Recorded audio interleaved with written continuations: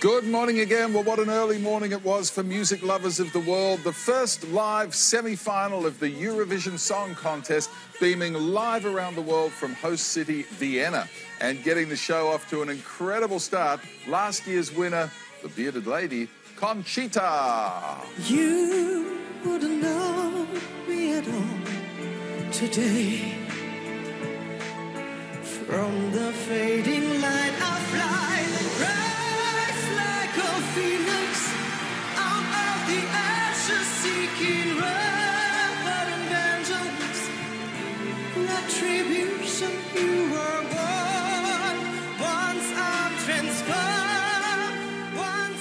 What a massive production. Look at that lighting grid behind her. Just incredible.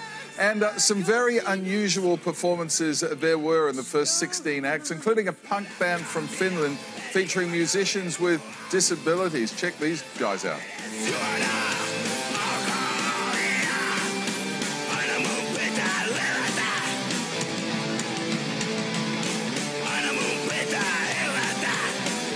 There you go. That blew the cobwebs out of your cornflakes, didn't it? A very Eurovision entry from Serbia. This is funny and fabulous.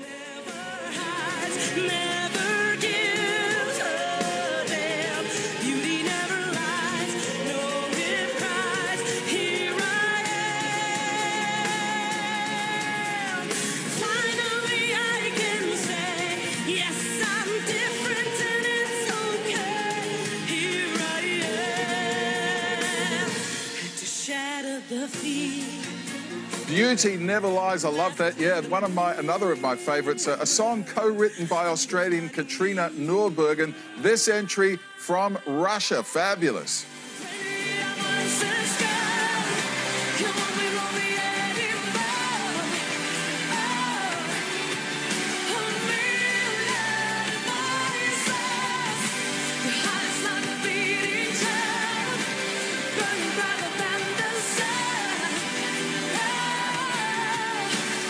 A million smiles, a very Eurovision song, a little bit of Australia there, and of course uh, we have a wild card entry this year. We will be crossing live to the Austrian capital to catch up with our man Guy Sebastian a little later in the show. All right,